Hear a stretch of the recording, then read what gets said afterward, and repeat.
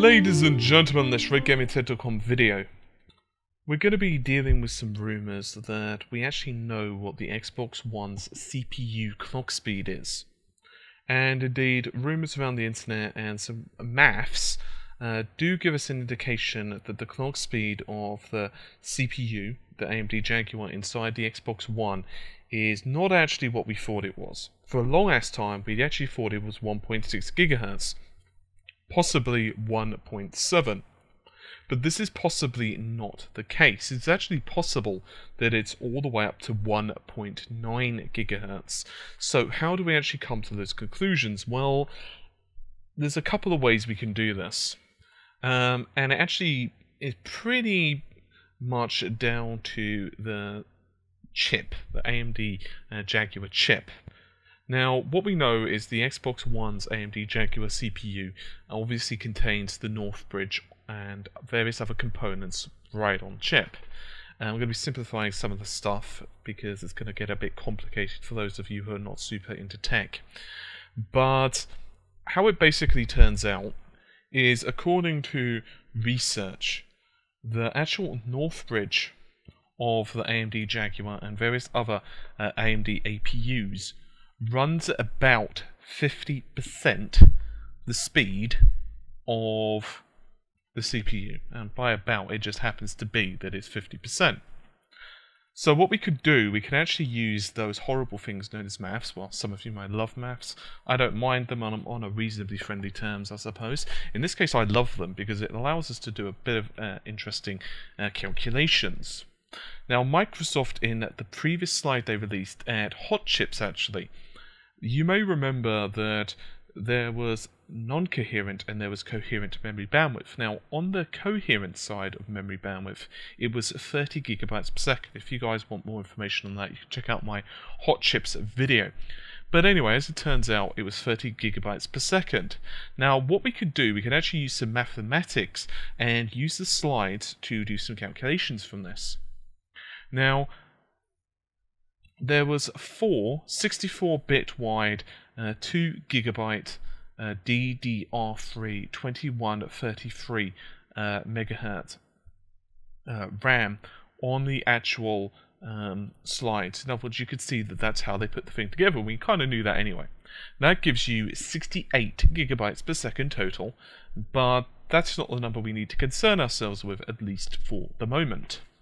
What is important is the coherent memory. Now, the coherent memory's link, and you can clearly see this on the slides, it actually is 30 gigabytes per second, okay? Uh, Microsoft has stated it right there. I'm not stating this, this is Microsoft. And so um, this is connected to the CPU's MMU. Now I'm going to quickly read you out what the MMM, MMU is. I'm certainly not going to go super in depth into it, but an MMU is a memory management unit. Now, a memory management unit is a bit of hardware inside the system, uh, and it basically does lots of different things regarding managing the memory. Really complicated answer there, but it will do everything from like virtual addresses to physical memory, uh, it will do caching and God knows what else. In other words, it does lots of different stuff in relation to, to memory. So it handles all of that for the CPU um, and just does its job. So what we can actually do now is we know that the Xbox One is a 256-bit DDR bus. Right, that's that's a given. So what you can do, by all means, you can follow along with a calculator. Um, you take 256 and then you times that by 940. In this case, 940 would be the memory, uh, megahertz, I'm sorry. So just to clarify, you've entered 256, which represents the width for the bus, 256 bit. We've taken that and we've multiplied that by 940 megahertz. Now, this is the really cool part divide that by 8. We need to divide it by 8 because of the bits and the bytes thing, which of course you normally have to do when working out bandwidth measurements. And what figure pops up? That's right. So now, let's do the opposite.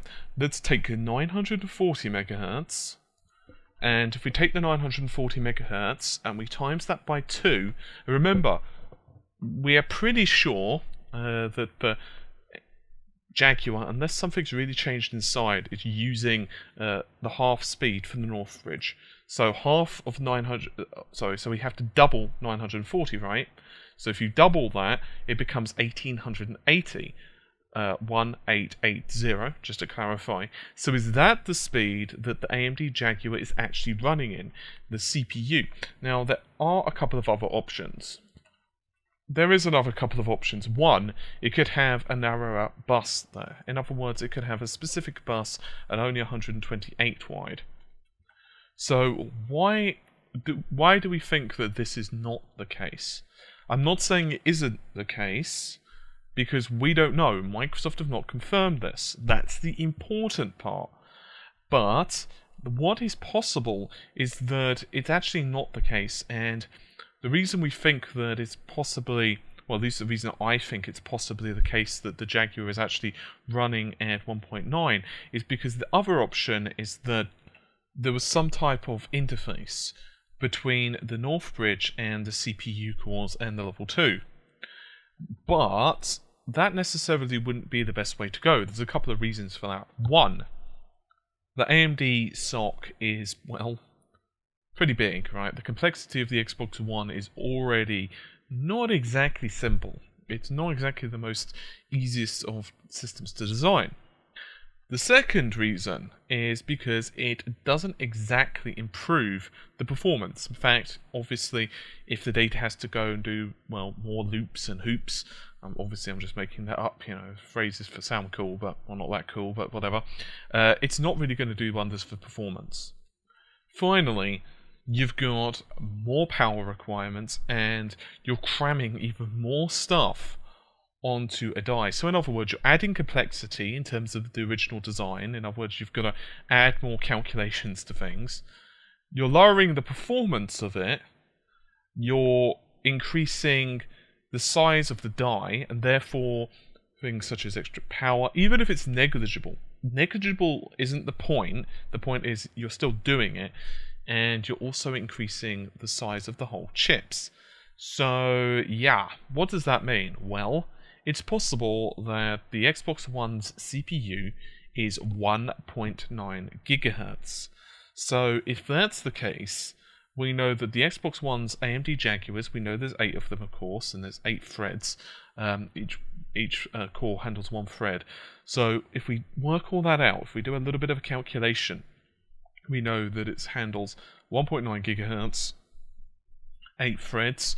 We know that the CPU, uh, sorry, the GPU cores, I'm sorry, 12 GPU cores. We know that they've had a slight um, increase in clock speed just before the conference, actually a couple of weeks prior to that, and so that's running about 1.31, 1.32 T-flops of computing power, which is slightly above uh, of course, what it was originally, which was about 1.24. And so now we actually know, in theory, the clock speeds of the Xbox One. Now, once again, I'm just going to reiterate this has not been confirmed by Microsoft. These are just some theories that are going around the internet. I've done some checking on the math, and the math does hold up. Um, it's just that there are other explanations for it. So yeah, we're going to have to just kind of figure this out on our own. Um, unless Microsoft say, oh, by the way, guys, here's what we've actually done.